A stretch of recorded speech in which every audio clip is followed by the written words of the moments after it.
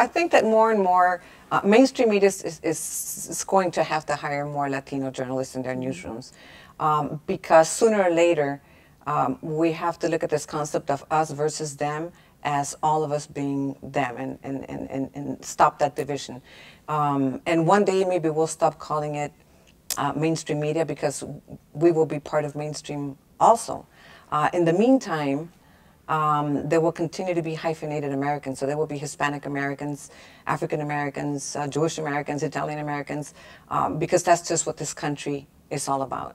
So as far as the future of Spanish language uh, television and media in general, I think it's there. I think that people will always speak Spanish, even though the younger generation, the younger generations are speaking more English.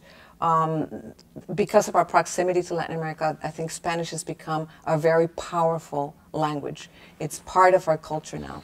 Even if this country resists on making it a bilingual country, um, by law. I think just uh, it, it is definitely. In, in fact, I would recommend many um, English-speaking um, uh, people in this country to learn Spanish because you have a whole world in your backyard, a whole continent that you can be doing business with and that you can be communicating with, and you're not because you're limited. Mm -hmm. So I've always told my daughters, if you speak two languages, you're worth for two people so I think that you know the language is going to continue to, to, to, to, it's here to stay. It's going to continue to thrive, and and there's going to continue to be a future in Spanish language uh, media. Maybe one day we'll be uh, bilingual, and maybe one day I'll be able to speak Spanish on the air. I would love that. well, as a matter of fact, the United States, part of the United States, is already bilingual. I, I'm not sure if this is going to become a Latino country or a bilingual country, but if you go to areas of Miami, Los Angeles, Chicago, New York, it's already bilingual. I think the future is very clear. Even though the majority of the growth of the Hispanic community comes from people being born in the United States, the, every single year there's one to two million immigrants coming to this country. They speak Spanish. So the future is assured for Spanish language television. It won't disappear. It'll just, it'll just increase on one hand. On the other, there's always the possibility that the cooperation between the United States and Latin America um, would be so good that one day maybe we'll have the, the kind of agreement that nations have uh, in Europe with the European with the European Union.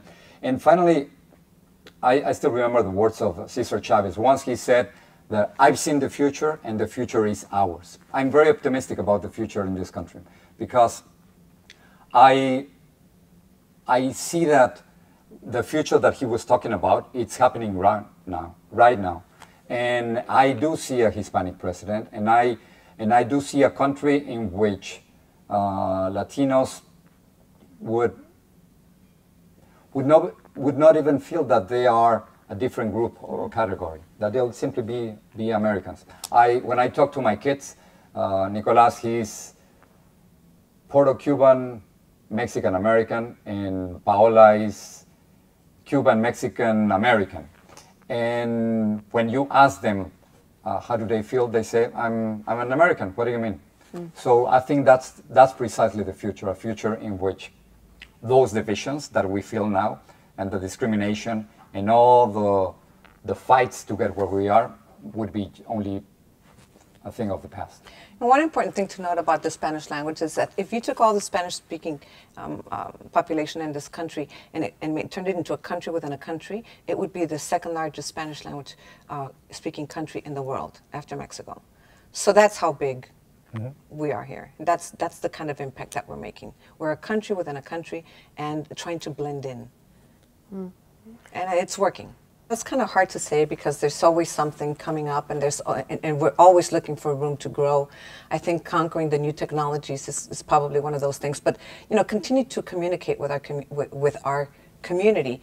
Um, I think, like I, have said in the past, one of the most important things to me has always been, you know, to continue to to empower um, Latinos. Maybe now we need to focus a little bit more in, into specific groups.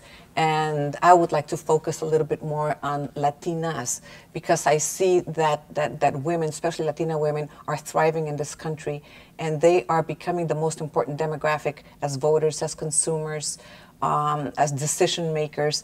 I think that something happens to women when they cross that border and, and they are submissive when they are in their own countries uh, uh, because they come from macho societies. And then when they cross the border, something uh, transforms them into these powerful women that are there uh, to become leaders of their home, of their community, uh, to get involved in their kids' school, to start businesses, and, and become the heads of, of their homes. So I would love to, in, in, the future, focus a little bit more on, on educating, inspiring, and uh, empowering uh, Latinas as a whole.